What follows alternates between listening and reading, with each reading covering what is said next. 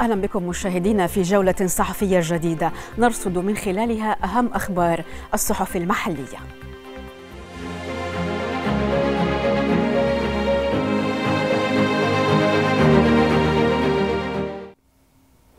نبدأ جولتنا الصحفية مع الوطن ونقرأ أن سعادة المهندس وائل بن ناصر المبارك وزير شؤون البلديات والزراعة افتتح حديقة سار بمجمع 525 وأكد سعادة وزير شؤون البلديات والزراعة أن حديقة سار تشكل إضافة مهمة على صعيد المرافق الخدمية في المحافظة الشمالية.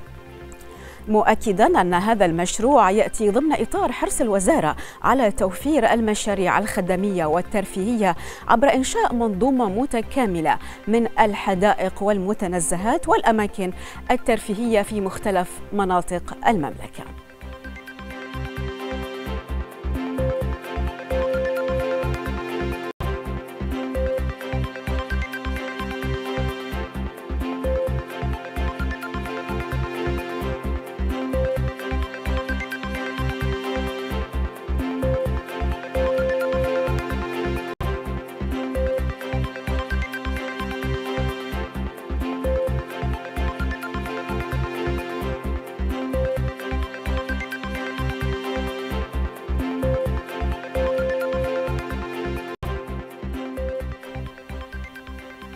ننتقل لصحيفة أخبار الخليج ونطالع منها خبر حضور سعادة السيدة روان بن بنت نجيب توفيقي وزيرة شؤون الشباب لحفل ختام برنامج فابلاب البحرين.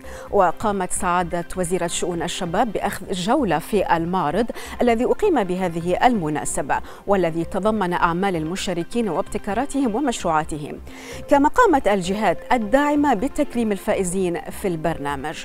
وأكدت سعادة الوزير الوزيرة أن برنامج فابلاب البحرين يمثل سباق للأفكار بين الشباب البحريني ويعتبر إضافة مميزة ضمن الجهود الوطنية لدعم الشباب البحريني.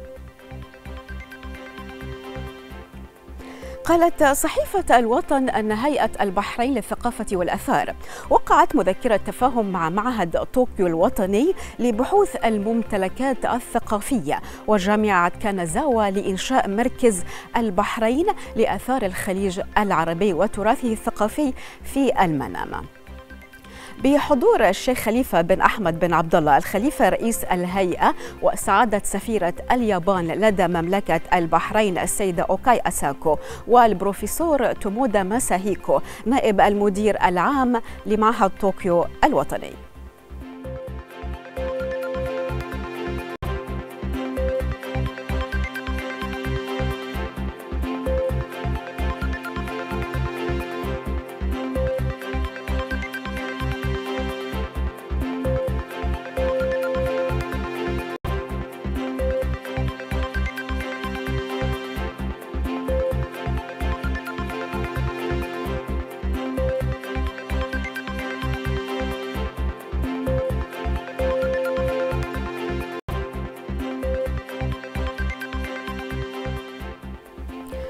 أجرت صحيفة أخبار الخليج حوارا خاصا مع نائب رئيس نيابة الأسرة والطفل. رئيس مكتب الصلح بقضايا الأسرة والطفل السيد محمد عبد الحكيم بوحجي. حول اختصاصات مكتب الصلح في قضايا الأسرة والطفل والضوابط والخطوات التي يعمل المكتب من خلالها. للحد من الجرائم الواقعة في نطاق الأسرة والجرائم على الطفل من خلال إجراءات الصلح وفقا للقواعد والمعايير المراعية. والواردة بالقانون القانون الوطني والصكوك المنظمة إليها المنضمة إليها المملكة.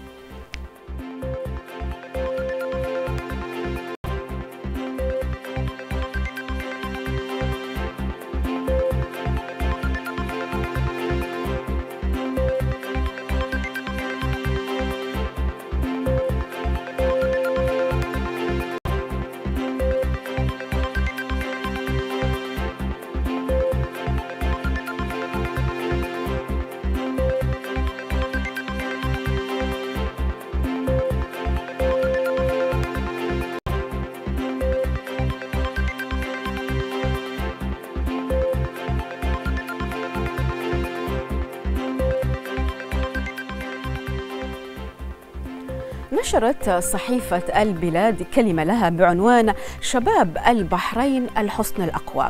نتابع. من المؤكد أن اعتزازنا بشباب البحرين من الجنسين نابع من إحساسنا بأن موقعهم والآمال المعلقة عليهم تبث فينا نبضا وأثيرا وتأثيرا مليئا بالتفاؤل والثقة كونهم رجال الحاضر والمستقبل وبناة الوطن فهم الحصن الأقوى في كل الظروف والمراحل المهمة. الخطاب الموجه من معالي وزير الداخلية للشباب يأتي توجيها وإرشادا وأملا وطموحا وتعبيرا عن الفخر بمكانة الشباب وأساس هذا المشهد هو محور رؤية صاحب الجلالة ملك البلاد المعظم حفظه الله ورعاه في قيادة التنمية. وكما وصفهم سمو الشيخ ناصر بن حمد الخليفة ممثل جلالة الملك الأعمال الإنسانية وشؤون الشباب في أحد لقاءاته الشبابية. هم القاطرة التي تقود حركة التنمية في المملكة وسط الاهتمام المباشر من قبل صاحب السمو الملكي ولي العهد رئيس مجلس الوزراء حفظه الله. ومن وحي التوجيهات المهمة من معالي وزير الداخلية التي صبت في مسؤوليتنا جميعا للذود عن الوطن والتصدي لكل فكرة دخيلة تستهدف أمننا واستقرارنا في هذه الحقبة الحساسة للغاية. استمعنا وقرأنا وناقشنا ووجدنا في شبابنا إيمانا حقيقيا بأنهم يدركون أنهم الحصن الأقوى. أما رسالتهم لنا فهي وفق قناعاتهم واجب وطني لكي يبرهنوا للجميع أنهم أقوى حصن ودرع يصد الأخطار عن أمن مملكة البحرين.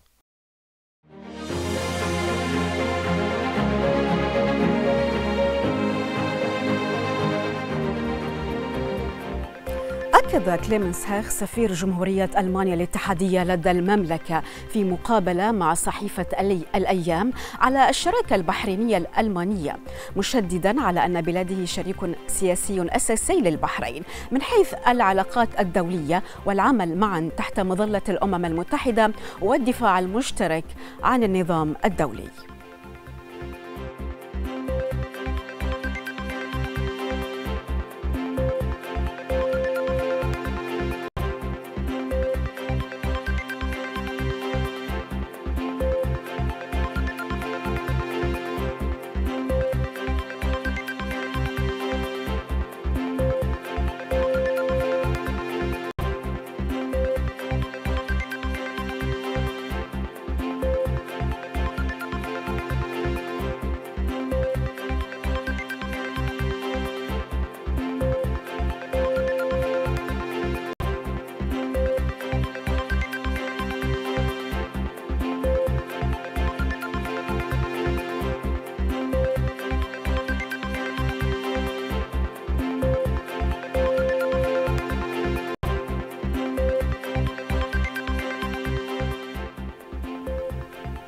من صحيفة الأيام نقرأ أن المجلس الأعلى للبيئة أعلن عن تدشين الخدمات الإلكترونية للاتجار الدولي في الأنواع المهددة بالانقراض المدرجة ضمن اتفاقية سايس الدولية ذلك في بوابة الترخيص البيئية وأشار المجلس الأعلى إلى أن الخدمات المتاحة هي استيراد الأنواع المهددة بالانقراض وتصديرها.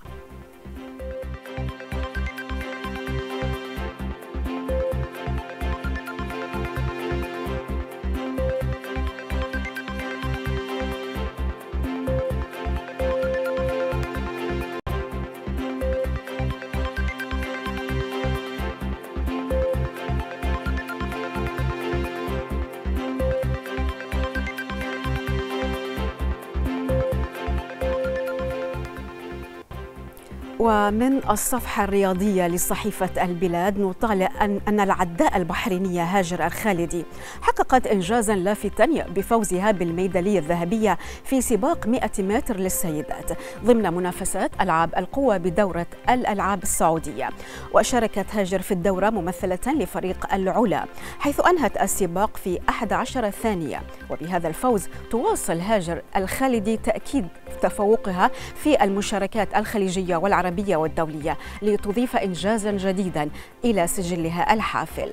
وتعد دورة الألعاب السعودية أكبر حدث رياضي وطني ينظم سنويا في المملكة حيث تضم أكثر من 53 رياضة يشارك فيها أكثر من 6000 رياضي. اليوم العالمي للمعلم عنوان مقال نشرته صحيفة الوطن للكاتبة الصحفية الدكتورة لولو بودلامة نتابع؟ احتفل العالم باليوم العالمي للمعلم. هذه المهنة التي تأتي على رأس سائر المهن فالمدارس هي المصانع التي تعد لنا خريجين محترفين لشغل باقي الوظائف. فالمعلم هو الركيزة الأساسية في بناء المجتمع وتطويره. إن دور المعلم لا يقتصر فقط على نقل المعرفة بل يمتد ليشمل تشكيل القيم والأخلاق لدى الأجيال الناشئة من خلال تفاعله اليومي مع الطلاب، كما يسهم المعلم في بناء شخصياتهم وتوجيههم نحو مستقبل مشرق وهو الذي يزرع بذور المعرفة. إن تعزيز مكانة المعلم وتقديم المزايا الوظيفية له هي إجراءات تساهم في جذب الكفاءات إلى مهنة التعليم وتحسين جودة التعليم بشكل عام. ومن أنجح المشاريع الاستثمارية في العنصر البشري البحريني هو كلية المعلمين، حيث تلعب دورا محوريا في إعداد المعلمين وتأهيلهم وتقديم برامج تعليمية متطورة تهدف إلى تزويد المعلمين بالمعرفة والمهارات اللازمة لمواجهة تحديات التعليم الحديثة. هذا المشروع الوطني أرفد القطاع التعليمي بمعلمين متسلحين بأحدث الخبرات في المجال التربوي معلمين مؤمنين برسالة التعليم فالتعليم ليس وظيفة بل هو رسالة. ومقابلة صاحب الجلالة ملك البلاد المعظم حفظه الله ورعاه مؤخرا لأبنائه الطلبة المتفوقين والطواقم التعليمية لهي خير شاهد على ما توليه المملكة وقيادتها من اهتمام ورعاية بالتعليم والمعلمين. وجه عدد من طلاب وطالبات مدارس مملكة البحرين عبر صحيفة الأيام رسائل الشكر والتقدير إلى معلميهم ومعلماتهم. بمناسبة يوم المعلم العالمي مشيدين بما يقدمونه لهم من جهد كبير في سبيل الارتقاء بمعرفهم ومهاراتهم. نتابع. لأنك حنونة علينا وباكر أبيب لك هدية ورسالة وايد حلوة. أحبها واجد. لكل معلم ومعلمة فأنتم صناع الأمل والمعرفة. بجهودكم تبنى الأجيال ويرسم المستقبل. كل عام وأنتم بخير. أستاذي شكرا لك أن أنت اللي خلتني أحب اللغة العربية جدا جدا. لأن دائما أستفيد من عندهم معلومات ويدرسوني وكل يوم أكتشف شيء جديد. إن بناء العقول أصعب من بناء البيوت وقد كنت يا معلمي خير بناء لها. المعلمات طول السنة يتعبون عشاننا ويدرسونا فإحنا لازم يوم المعلم يكون يوم آه نشكر في كل معلماتنا على كل شيء يسوونه لنا. آه كل عام وأنتم بخير معلميني. أنا أحبكم واجد وشكرا من القلب. قم للمعلم وفيه التبجيل. كاد المعلم أن يكون رسولا. علمت أشرف أو أجل من الذي يبني وينشو أنفسه وعقولا سبحانك اللهم خير معلم. علمت بالقلم القرون الأولى؟ أخرجت هذا العقل من ظلماته وهديته النور المبين سبيلا. لولا المعلم ما قرأت كتابا يوما ولا كتب الحروف يراعي. بهذا مشاهدينا نكون قد وصلنا إلى ختام جولتنا الصحفية لهذا اليوم. شكرا لكم على طيب المتابعة. دمتم في رعاية الله.